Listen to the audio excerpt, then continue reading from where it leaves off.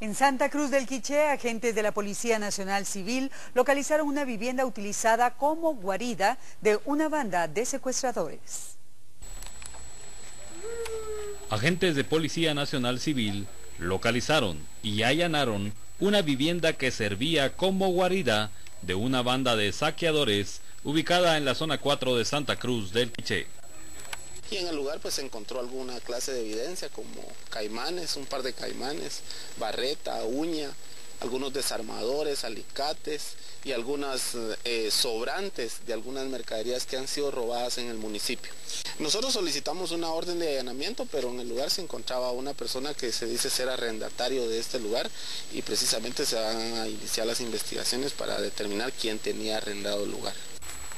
Se presume que esta banda de saqueadores sería la responsable del robo de por lo menos 15 locales comerciales en lo que va del año en el departamento de Quiché. Reportó Oscar Toledo para T13 Noticias.